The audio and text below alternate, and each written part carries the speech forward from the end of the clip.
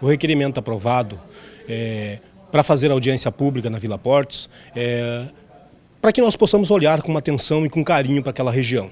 Uma região que foi abandonada há muito tempo e deixa a desejar na segurança pública, na infraestrutura, na reconstrução daquela, daquela localidade. E por isso nós chamamos essa audiência pública para que o comércio, os comerciantes daquela região venham nessa audiência pública e coloque todos os problemas que há e que está acontecendo na região. É, as famílias que também moram lá, que tragam as suas reivindicações. E principalmente assim, nós queremos dar uma atenção especial à região da Vila Portes, porque era uma região que empregava muitas famílias e hoje está lá abandonada. Então nós queremos dar essa atenção e que a Vila Portes venha a participar, venha, o comerciante venha a participar dessa audiência pública que vai ser marcado e nós vamos comunicar também a cada um, a cada uma pessoa envolvida. E toda a sociedade, nós pedimos que dê atenção a essa audiência pública lá pela Vila Portes.